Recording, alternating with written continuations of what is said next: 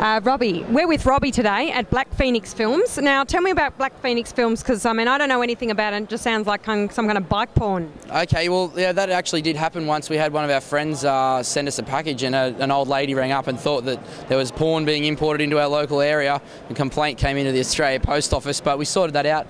It actually started out. Uh, a friend of mine, Josh, and I uh, started making a mountain bike movie when there was a bit of a lull uh, about five years back, and from there we, you know, continue to make our own movies as well as distribute other, you know, producers' movies from around the world and it's sort of grown into a pretty uh, sizable wholesale operation for us. And you know, we've branched out into other media forms, like we now have a magazine, Clicked Magazine, and uh, we work on that as a quarterly publication. And you know, in between, you know, shooting films and distributing films. Okay, so there's a big market out there for people buying this kind of the footage. Well, Is it kind of like the Crusty Demons type thing? Yeah, you know, in a lot of ways, like kids are driven by the hype of DVDs, and and it's there is a big market. There's a big core market, and then there's a flow-on market in the mainstream as well. So a lot of the new titles that come in, they, they go out to a lot of the retail bike stores, and then from there we see them moving into Target and Kmart and all the big you know the big retail outlets as well. So ah. yeah, there's a lot of units being moved, you know, to a lot of people. So. and have you got a background in marketing?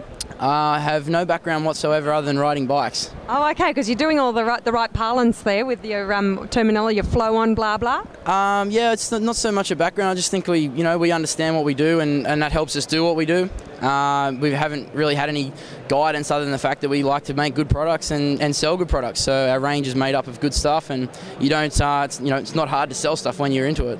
And do you star in any of your movies? I did in the first one. I got like one or two little roles in uh, in previous ones, but I've taken more of a back seat, uh, helping Josh with camera work and uh, just making sure everything's coordinated and dealing with professionals as opposed to myself.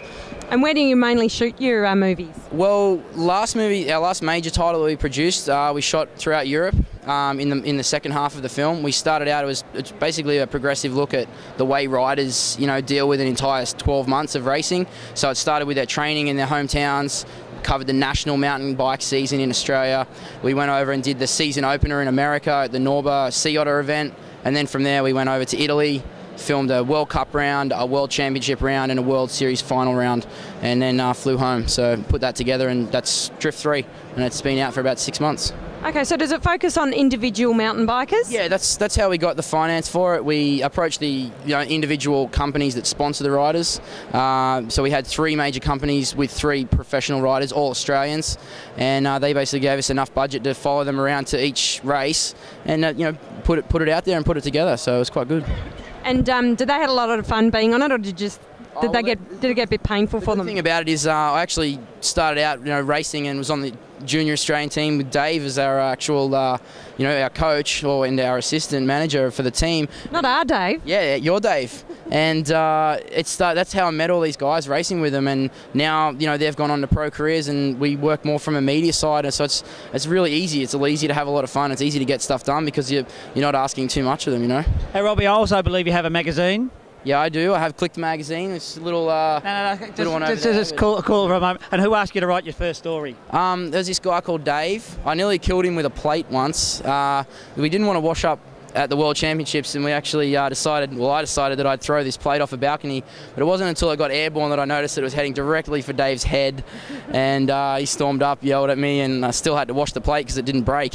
But um, you know, it's all right. But yeah, Dave did encourage me to write for my first article for Freewheel magazine, and and his actual advice was um, don't limit yourself to just one magazine. You know, there's bigger possibilities for your writing, and it's just led to you know owning and editing my own magazine. So it's pretty oh, cool. That's right, like the Remington Man. Um, I don't know the Remington Man. I'd like to look like the Gillette Man, but you know. No, he bought his own company. Oh, okay. Well, yeah, no, it's um, it's I'm pretty happy with how things are moving. It's quite good. Sounds great. Well done, Robbie, and thanks for talking to us today. thanks very much.